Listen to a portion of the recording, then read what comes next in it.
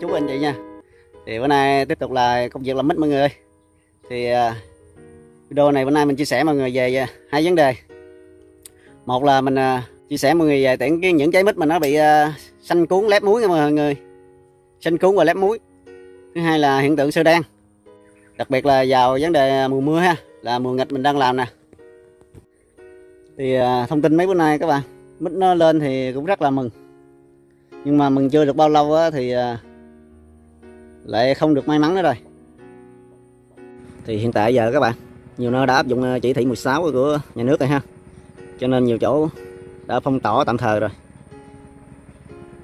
Nói chung là giờ rất là khó khăn cho thương lái đi thu mua nữa.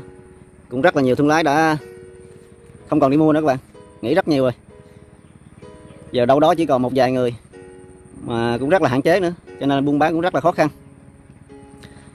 Thì đối với ở tiền giang gần giữa các bạn thì có thể là bán ờ, dễ hơn ở ờ, nhiều nơi chỗ khác nha. Như mình ở đây thì ờ, thuộc an giang mà dùng xa nữa. Xa dựa nữa thì rất là khó bán. Nói chung là có lái căng là cũng may lắm rồi, chứ thật sự nhiều nhiều thương lái ở nơi khác đó bị phong tỏa người ta đâu đi lại mua được. Họ nghĩ bỏ ngang. Nhiều dân cũng rất là rối luôn ha. Không có tìm lái được để bán đó các bạn. Nhiều nhà vườn người ta đâu có liên lạc được thương lái mà để bán đâu.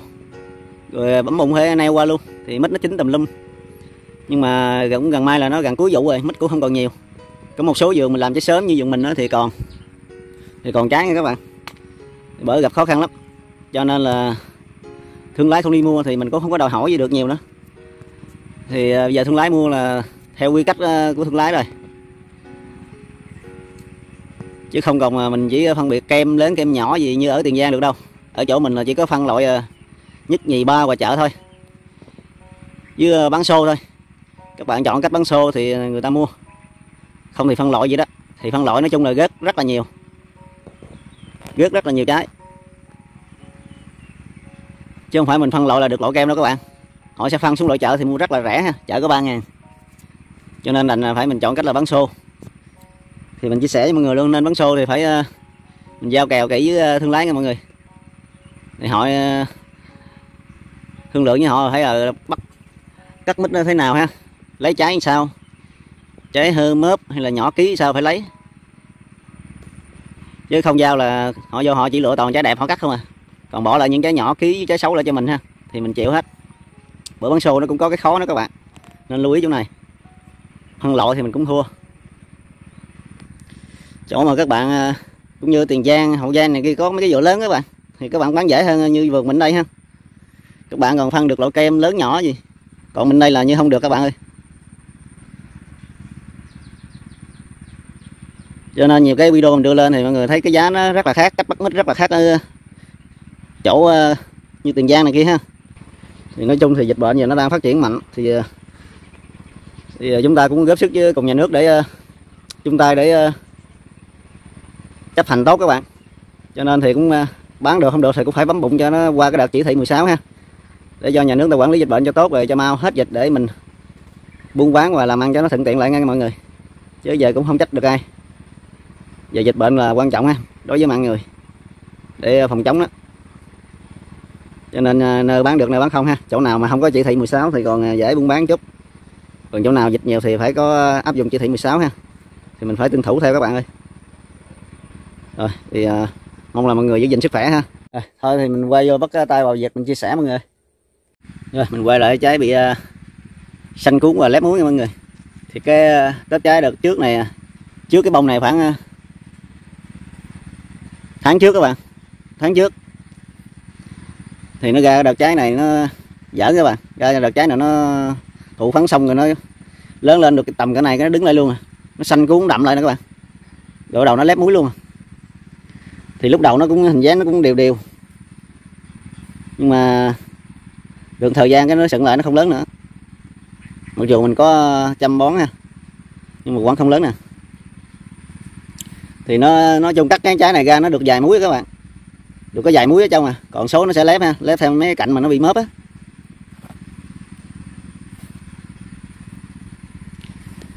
Thì mình à, làm mình thường theo dõi. Như trái này thì mình sẽ loại bỏ các bạn sớm để dinh dưỡng lại nuôi lại những cái trái này. Thì số bông sau này ra thấy tương đối đẹp các bạn. Thì nói chung nói chung là cái cây mít của mình các bạn, thì nó ra nhiều bông, nhưng mà nó ra được cái số bông đẹp bông xấu ha, nó xen kẽ nhau. Cho nên chúng ta phải đi ờ, cắt tỉa phân biệt cái bông đẹp bông xấu mà chúng ta loại bỏ ha. Điển hình như trái này các bạn, thì nó ra là mình thấy nó xấu rồi. Thì ở trên này thì một số gai nó cũng tương đối, nhưng mà xuống dưới cái đít các bạn thấy không? Tàn ong. Gai ở trên thì nó cũng được được nhưng mà lọt xuống như này thì gai tầng ong thấy không? Như trái này thường là một là nó lép muối là hư rồi. Hai là sơ đen ha. Thì những cái bông này mình thường loại bỏ sớm. Để ờ, dinh dưỡng dồn lại nuôi mấy cái bông ờ, đẹp sao ha. Rất là xấu các bạn.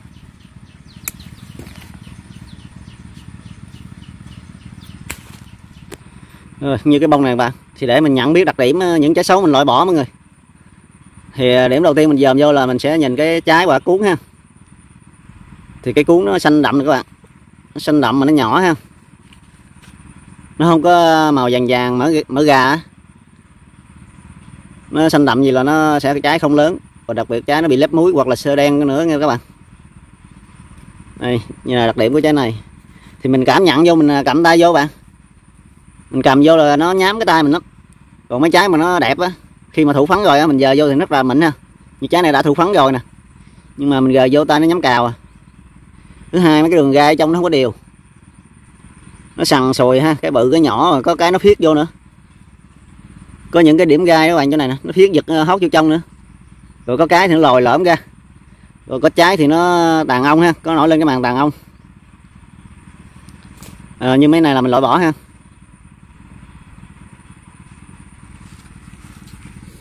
Đây như phía dưới này nè các bạn. Thì trái này mà có ấy nữa cũng sơ đen. Thấy không? Mình cầm vô cái trái nó nhắm cào các bạn. Nè cái điểm gai nó, nó lõm ha các bạn. Số gai nó lõm vô nè. Ba bốn cái gai á nó lõm vô trong. Xuống này cũng có lõm nữa nè. Rồi tùy theo trái bạn. Có trái thì nó gần nguyên trái nó lên cái gai nó rất là đẹp đều, nhưng mà nó lật về phía sau á, có một số đặc điểm nó bị lõm ờ, với nó tàn ong hơn ha. Là những trái đó đặc điểm là nó bị sơ đen. Thì mình dòm đặc điểm đó mình để loại bỏ nha mọi người. Còn như trái này thì tương đối nè các bạn. Trái này ra thì nở cũng tương đối tương đối được ha. Thì mình gờ vô nó mịn. Gờ vô cái tay mình nó mịn ha, nó mịn nó không có bị nhám. Nhưng mà giai đoạn này nó lớn lên và mình vẫn theo dõi nha có số trái nó vẫn giật lại nữa nghe, nó không lớn, nó bị ờ, xanh cuốn lại là nó, tuy rằng cái gai nó đẹp nhưng mà nó xanh cuốn lại, nó giật lại, nó không lớn. Nó vẫn lép muối đó nghe các bạn. Bởi cho nên chúng ta, nhiều bông để chúng ta tuyển lựa chọn những trái đẹp lấy. Chứ không phải mà bông nào ra cũng lấy được hay mọi người?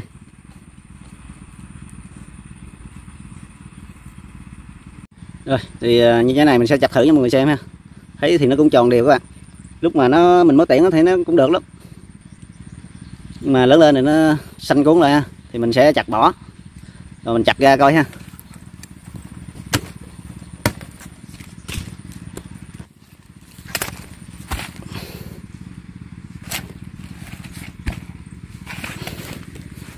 Nó lép muối các bạn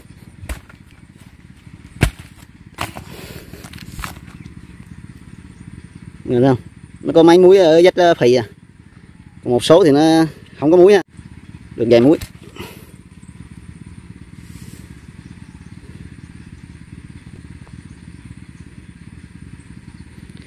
thì cái mùa nghịch này nó bất lợi vậy đó các bạn. Cho nên là giá mít nó đẩy lên cao được ha.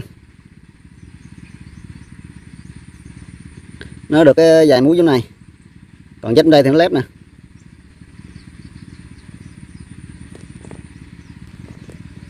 Các bạn ơi, thì à, có một số trường hợp mình à, tiễn lầm cái trái bị sơ đen các bạn đó là trái này sao bạn? Trái nó là cuốn nè, cuốn đẹp ha, cuốn đẹp lớn luôn. Rồi gai đầy liền đẹp luôn các bạn, gai đều đẹp luôn nha. Đều đẹp luôn, nói chung là không có thấy cái dấu tì vết của cái hiện tượng sơ đen hay là lép muối nha các bạn. Nhưng mà quản bị sơ đen các bạn, thì một số trái mình à, thường tiện lầm nó là như vậy. Tiện lầm là tới lớn đó, mình à, bán mình mới biết, chứ không có biểu hiện lúc à, nhỏ nha. Thì nói chung là sót lại một số trái này không có đáng kể đối với mùa mưa nè. Cho nên thì mình cũng không đáng kể. Quan trọng là mình phải giờ mà mấy cái trái mà phát điểm eh, lúc nhỏ từ đầu, mình tiễn nó sớm đó các bạn. Mình loại nó trước á, thì nó giảm hiện tượng xe đen nhiều lắm ha. Nên như trái này, mình cắt qua thì eh, được, có một trái này bị à, có một trái này bị xe đen các bạn. Người thấy không? Thì cái trái này nó sẽ đen ngoài sơ thôi chứ chưa vô muối.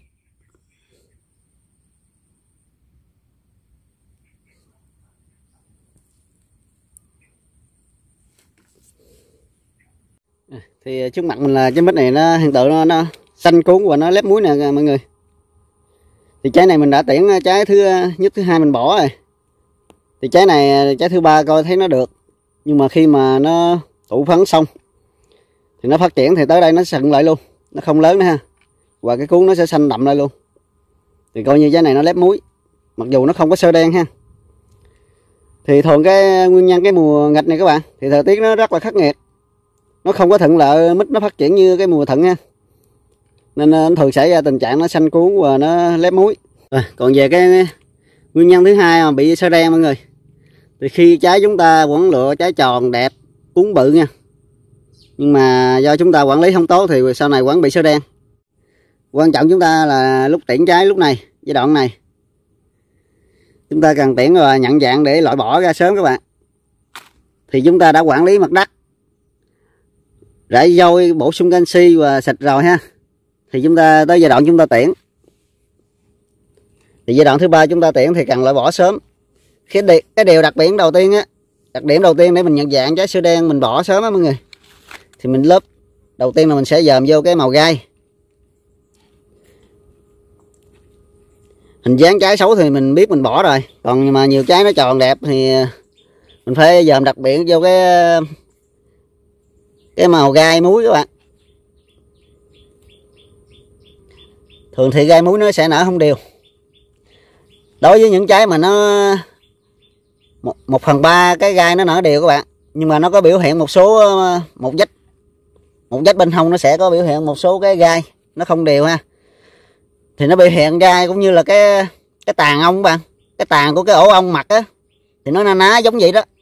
Là mình nhận biết nó để mình loại bỏ cái sơ đen thì cũng như trái này nè. Thì cái biểu hiện nó lên là nó ra nó hơi sần sùi nè. Sần sùi và nó nó ná như cái tàn ong ha. Thì cái trái nằm nằm dưới gốc thì nó dễ bị nhiễm hơn trái trên cao ha. Nhưng mà những trái trên cao vẫn bị luôn các bạn. Đối với mùa mưa này nè. Thì như trái này mình sẽ loại bỏ các bạn. Mặc dù cái cuốn nó cũng to bự nè. Cũng màu ngà hơn ha. Nhưng mà cái hiện tượng này trái này nó xấu. Thường là cái cuốn nè, cuốn nó nhỏ dài. Thì mình tiễn này nhưng mà này nó quẳng không lớn luôn, nó sẽ giật lại. Chừng khoảng à, nửa tháng hoặc à, 20 ngày sau nó sẽ giật cái cuốn lại, nó xanh đậm lên luôn, nó không lớn. Thì coi như trái này, cái trái này mình bỏ hết luôn.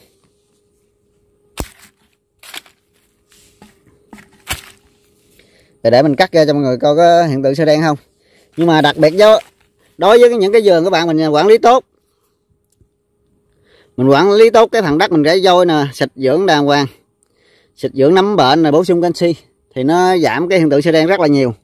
Tuy gần trái nó xấu nha, nhưng mà cũng ít sơ đen. Còn đối với những cái vườn nào mà vườn tơ ha, mà quản lý không ờ, tốt ờ, khâu mình xịt, quản lý bệnh á, với bổ sung canxi bo thì nó sẽ sơ đen nhiều hơn.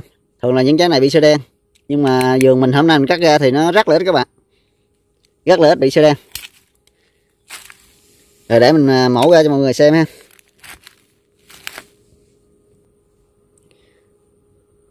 Thì cái vườn này mình là quản lý à, đất. Khâu à, giải dâu với bổ sung canxi cho nó thì nó rất lớn các bạn. Hôm nay hiên bổ ra là ít thấy lắm. Thường những cái sơ đen nó sẽ chạy chỉ đen theo mấy cái muối nhỏ ở ngoài này nè. Ngoài cái đầu mũi dao mình chỉ nè. Nó có là nó sẽ chạy chỉ đen nhưng mà mấy trái này là không có ha. Như cây này mình mới cắt này các bạn. Trái này nè. Thì cuốn nó xanh đậm ha.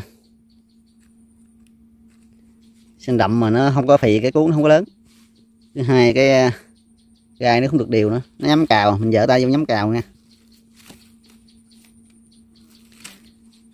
Cái ra cho mọi người xem. Đúng không? Chân nè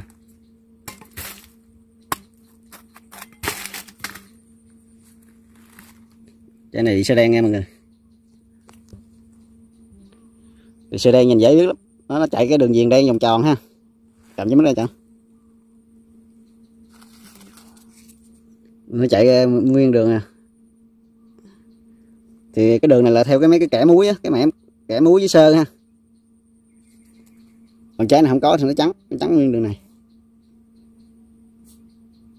Thì nó lép muối luôn nè nó chỉ có một hai muối chỗ này mình thấy à. Còn như là lép nè. Đây. Đối với cái trái này nó lớn rồi các bạn. Tuy là cái cú nó xấu ha, nó ngã cái màu da cây, nó lớn. Nhưng mà do trái này lép quá. Mình bỏ luôn nha. Lép quá mình cũng nên bỏ luôn. Trái này thì nó không có sơ đen nha. Mà tại nó lép. Chung cái mùa này thì cái trái lép nó rất là nhiều.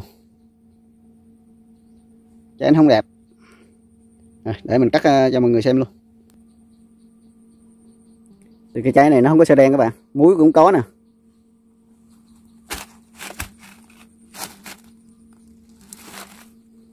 Thì mình cắt cái lưỡi hai dính bụi á nó lên ha chứ không phải nó bị sơ đen.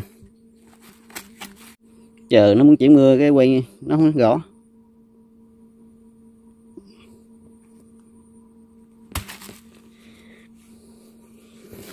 thì cái trái này á mình cầm vô cái tay nó nó mạnh các bạn. Nó không có nhám như là cái trái sơ đen hồi nãy.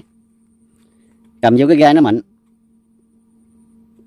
nó bệnh kiểu nó hơi bóng hơn là cái trái à, ờ, sơ đen. Sơ đen mình cầm nãy cái tay nó nhắm cào à. Gai thì nó nở cũng đều ha. Thì cái trái lép này các bạn cái cuốn nó nám nè. Nó nám nhưng mà nó nở cái cuốn. Nó không có xanh đậm như kia nha nhưng mà cái muối là vẫn đều, vẫn có muối. Rồi, video mình sẽ kết thúc tại đây nha các bạn. Rồi, chào tạm biệt mọi người ha.